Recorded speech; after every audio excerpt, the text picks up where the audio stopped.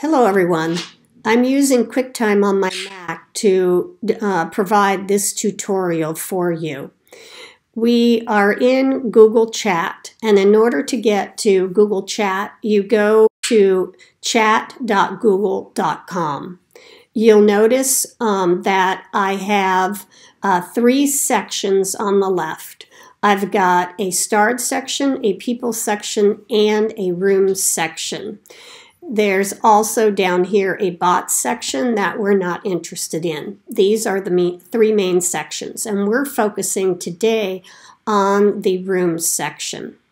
This will allow you to create a room where you can meet your students and chat through text in real time.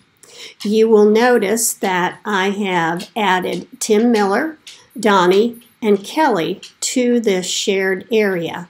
And if I need to add more people to this room, I just would click this blue button and add additional people.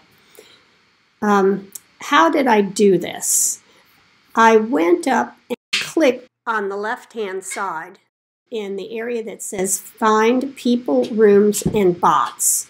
It should really say add slash find people, rooms, and bots. When I click in here, it reveals the ability to create a room.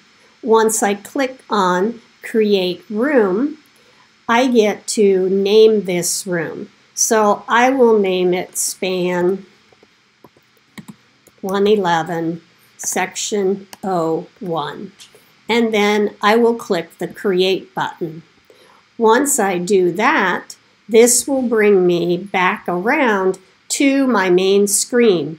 And you see that I have just now created span 111 section 01.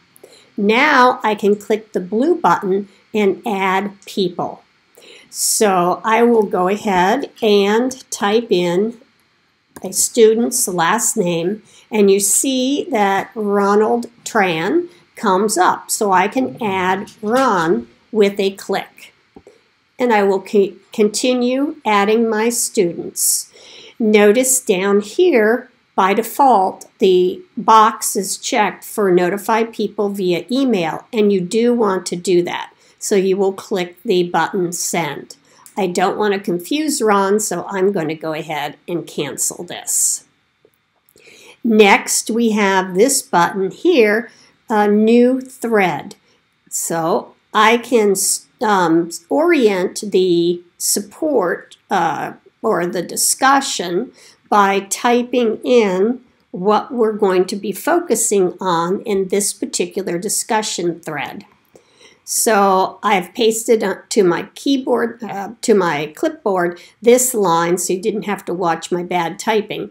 Today we will focus on answering questions about last week's homework. So I hit the enter key or the return key and now this shows up and students can um, reply and ask their questions.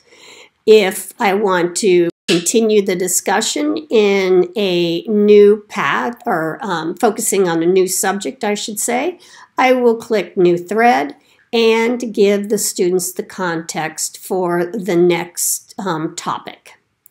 And this is all there is to it.